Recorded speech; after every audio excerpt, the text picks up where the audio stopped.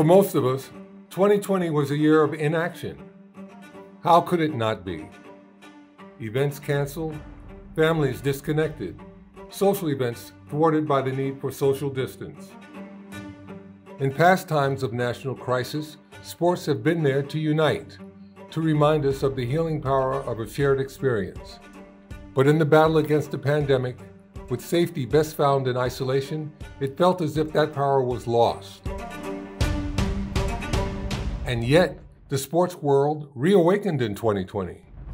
Games were played, more quietly than usual, and championships were won.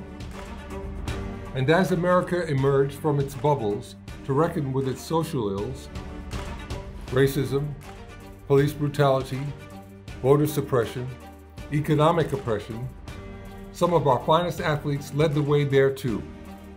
For there is a choice to be made at history's harshest moments. We can turn inward, cowering from forces that feel beyond our control, or we can stay in the game and fight for a victory, for a title, and more importantly, for what's right.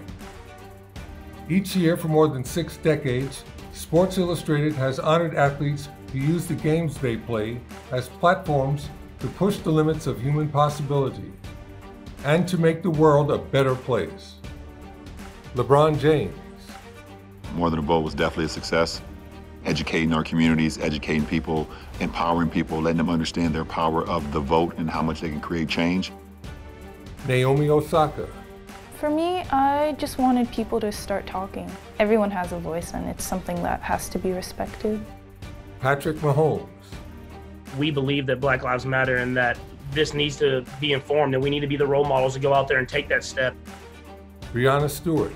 Being in a league that has 80% of black women, there's so much that we need to fight for, and racism is at the, the top of the list.